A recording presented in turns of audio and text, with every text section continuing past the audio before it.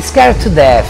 Despite how the person, our fitness trainers, expensive weekly creams and everything else people use to look young and keep fit, the mortality rate still stands at 100%. Someone once remarked that our generation will produce the best looking corpusine in history. Of course, Christians aren't immune from the desire to live longer and look better in the process.